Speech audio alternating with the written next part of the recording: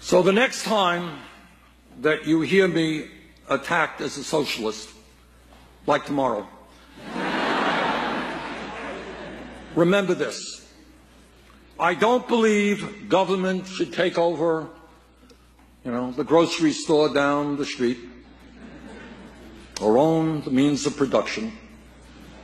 But I do believe that the middle class and the working families of this country who produce the wealth of this country deserve a decent standard of living and that their incomes should go up, not down.